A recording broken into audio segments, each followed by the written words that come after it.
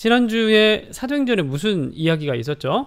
어, 예루살렘 교회에 있었던 유대인들이 어, 좀 정신 나간 양반들이 저기 안디옥 교회 한, 이제 한참 막 부흥하고 있는 안디옥 교회 가가지고 뭐라고 했습니까? 뭐 모세의 법대로 할례를 받지 아니하면 너희들이 구원을 받지 못할 것이다. 어, 그런 뚱딴지 같은 소리를 했단 말입니다. 그래서 바울과 바나바가 안디옥 교회가 바울과 바나바를 대표로 해서 예루살렘 교회로 파송을 보내게 되죠. 어, 그러니까 가서 이제 바나 바울과 바나바가 또 신나게 또 여태까지 사역했던 것들 막 얘기를 하고 있는데 또 이 정신 나간 이 보수 보수파 아, 유대파 아, 보수파 이 그리스도인들이 예? 또이 바리새인들이 다 할례를 받아야 된다고 또 막 갑자기 주장을 하기 시작하죠. 자 여기까지가 어, 어제 이야기였습니다. 그래서 이제 뭐 이런 맥락에서 갈라디아서까지 살펴봤는데요. 오늘은 다시 사도행전으로 돌아와서 그 뒤 이야기를 이어서 살펴보도록 하겠습니다. 자, 15장 6절을 봅시다. 15장 6절, 15장 6절부터 읽습니다. 자, 성경 펴시고. 자, 15장 6절 읽기 시작합니다. 사도와 장로들이 이 일을 의논하러 모여 이 일이 무슨 일인지 아시죠? 제가 방금 설명드렸던 그 일입니다. 많은 변론이 있은 후에 논쟁들이 오갔다는 거예요. 자, 베드로가 일어나 말하되 이제 논쟁을 할 만큼 했고 여기에 대한 결론을 내려야 되는 거야. 그 결론을 내리려고 하면 당연히 예루살렘 교회 최고 지도자가 나서야 되는 것이죠. 그럼 초대 교회, 초대 예루살렘 교회에서 최고의 지도자는 누굽니까? 두 사람이죠. 두 기둥이라고 표현하죠. 바울이 첫 번째는 베드로, 두 번째는 야고보입니다. 자, 야고보는 예수님의 동생 야고보. 어, 사, 그 제자 야고보는 얼마 전에 예, 참수형을 당해서 순교를 했습니다. 자, 먼저 베드로가 일어나 이렇게 얘기를 합니다. 베드로가 이러 말하되 형제들아 너희도 알거니와 하나님이 이방인들로 내 입에서 복음의 말씀을 들어 믿게 하시려고 오래전부터 너희 가운데서 나를 택하시고 또 잘 봅시다. 8, 9절이 중요합니다. 마음을 아시는 하나님이 우리에게와 같이 그들에게도 성령을 주어 증언하시고 그들은 누굽니까? 3인칭. 이방인들이죠. 이방인들에게 하나님께서 뭘 주셨다고요? 성령을 주어서 증언하시고 이 증언계 성령 자체가 증거라는 거예요. 뭐가 무슨 증거? 하나님께서 이방인들을 성령을 주셨다는 이방인들도 자기 백성, 유대인들과 똑같이 자기 백성으로 삼으셨다는 표식을 표징을 성령을 통해서 주셨다는 거예요. 우리가 이제 어제까지 계속 반복해서 살펴봤던 이야기죠. 9절 믿음으로 그들의 마음을 깨끗이 하사 그들이나 우리나 우리는 유대인 차별하지 아니하셨느니라. 이게 초대 교회 때 굉장히 중요한 주제였습니다. 차별하지 않는 문제. 유대인들이 기득권을 가지고 있었다고 생각을 했기 때문입니다. 그래서 어, 그들은 끊임없이 유대 우월주의적 유대적 우월주의를 자꾸 이방인들에게 요구하는 일들이 있었는데 자, 그래서 가장 중요한 게 뭐냐면 성령을 받으면 누구나가 다 하나님의 백성이라는 표징이 된다라는 거. 그리고 또 그 성령을 받으면 무슨 일이 일어나느냐. 그 중요한 건 뭐냐면 유대인들에게 율법이죠. 율법은 어떻게 됐냐? 율법의 성취는 어떻게 할 것이냐?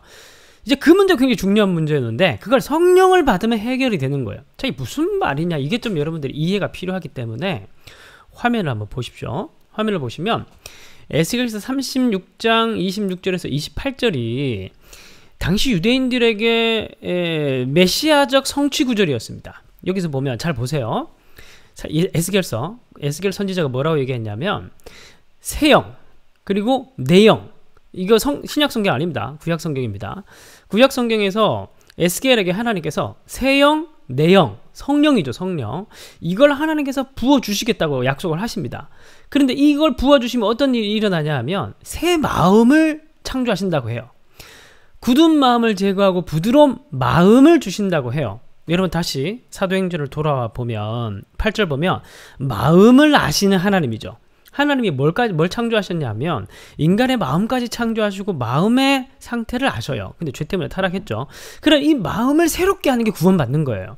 근데 그걸 어떻게 하냐 하면 성령을 통해서 하시겠다는 거예요. 그걸 이 에스겔을 통해서 예언을 하셨는데 그래서 지금 성령을 받는 이방인들이 이 구약의 성취 속으로 지금 적용을 받고 있는 겁니다. 그래서 결국 율법의 문제가 어떻게 해결되냐면 성령을 받고 마음이 새롭게 창조되어서 율례를 지키게 되는 거예요. 율법의 성취가 되는 겁니다. 규례를 지켜 행하게 되는 겁니다. 율법이 성취되는 거예요. 그 결과는 뭐예요? 이 전체 결과를 가리켜서 내 백성이 되고 나는 너희 하나님이 된다. 구원 받는다는 거예요. 하나님 백성이 된다는 거예요. 이방인이나 유대인이나 어떤 인간들의 차별 없이 성령을 받고 성령을 통해서 마음이 새롭게 창조되면 그 사람은 성령을 따라 행하라. 어제 예, 갈라디아 살펴봤죠? 성령을 따라 행하면 육체의 소욕을 이루지 아니하는 거예요. 근데 육체 속에 근데 육의 솔개 육의 지배를 당하고 죄의 지배를 당하고 율법의 지배를 당하면 종교인이나 뭐 그냥 사회인이나 뭐 그런 그런 철학이나 도덕이나 그런 정도 차원으로 하면은 그 사람이 마음이 새롭게 될 수는 없어요. 그런데 그리스도 안으로 들어가서 성령을 받아서 성령을 따르면 이 모든 일들이 가능하게 지게 된다는 거예요. 왜냐하면 그 속에 예수님이 다시 살기 때문에 그 말인 거예요.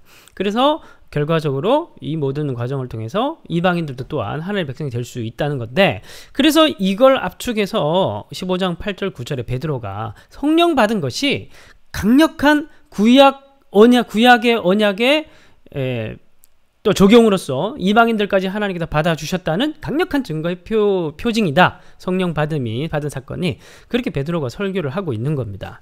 자, 10절. 그런데 지금 너희가 어찌하여 하나님을 시험하여 우리 조상과 너희도 우리도 능히 매지 못하던 멍해를 제자들의 목에 두려느냐. 그러나 우리는 그들이 우리와 동일하게 주 예수의 은혜로 구원을 받는 이걸 제가 지금 막 설명했죠. 한 3분 정도. 이 설명을 압축해서 한 단어로 표현하면 은혜로 구원받는다. 그렇게 얘기를 하는 거예요.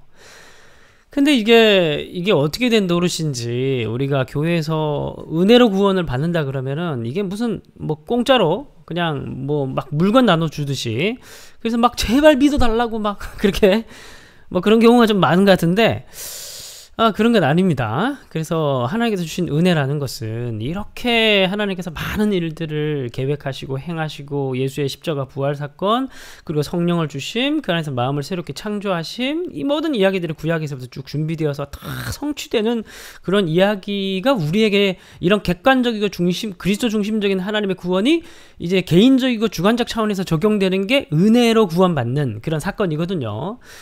이게 놀라운 사건이에요. 놀라운 사건. 우리가 그런 사건 속에 들어있다는 것 자체가 굉장히 놀랍고 정말 은혜라는 말 외에는 표현할 수 없는 그런 하나님의 구원인데 예, 우리가 그런 걸 이 말씀을 읽어가는 베드로 설교 중에서 우리가 좀 느낄 수 있었으면 좋겠어요. 자, 12절부터는 이제 베드로 다음 중요한 지도자인 야고보가 어, 설교를 합니다. 12절. 온 무리가 가만히 있어 바나바 바울이 하나님께서 자기들로 말미암아 이방인 중에서 행하신 표적과 기사에 관하여 말하여 말하는 것을 듣더니 말을 마치며 야고보가 대답하여 이르되 형제들아 내 말을 들으라 하나님이 처음으로 이방인 중에서 자기 이름을 위할 백성을 취하시려고 그들을 돌보신 것을 시므온이 말하였으니 시므온은 베드로의 다른 이름이에요.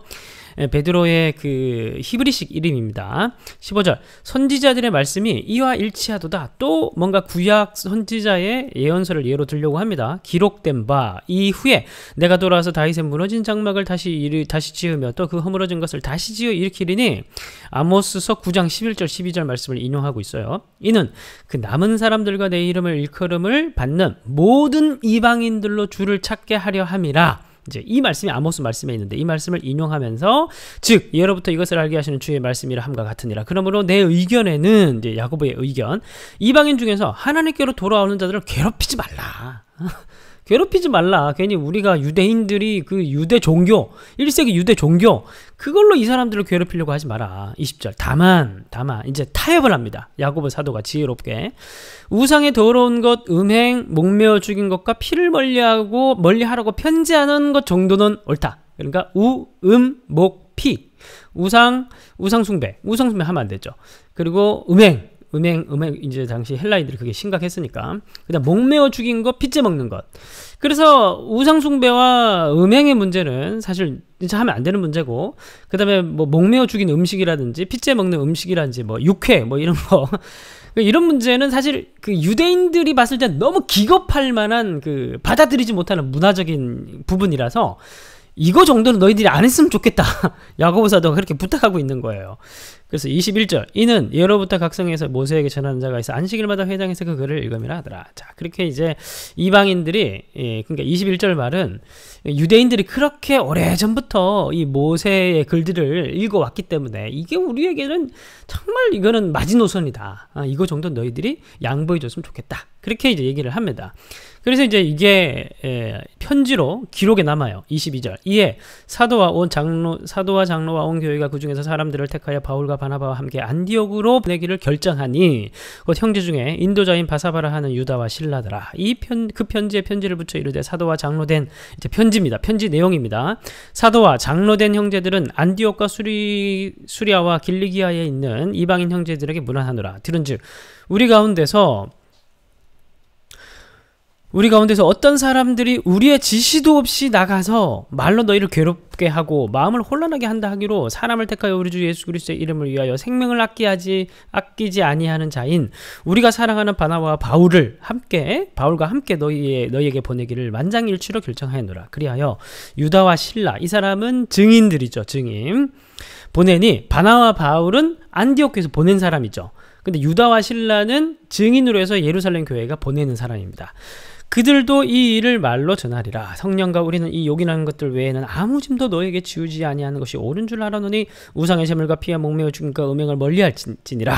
이에 스스로 삼가면 잘 되리라. 평안함을 원하노라. 이렇게 편지를 썼어요. 그리고 이 편지를 증인 그 증인들과 바나 바울과 바나바에게 줍니다. 그러면 이 편지를 들고 이제 전하러 가야겠죠. 그게 2차 전도 여행입니다. 30절. 그들이 작별하고 안디옥에 내려가 무리를 모은 후에 편지를 전하니 읽고 그 위로한 말을 기뻐하더라. 유다와 신라도 선지자라 여러 말로 형제를 권면하여 굳게 하고 얼마 있다가 평안히 가라는 전송을 형제들에게 받고 자기를 보내던 사람들에게 사람들에게로 돌아가되 바울과 바나바는 안디옥에서 유하며 수단 사람들과 수단 다른 사람들과 함께 주의 말씀을 가르치며 전파하니라.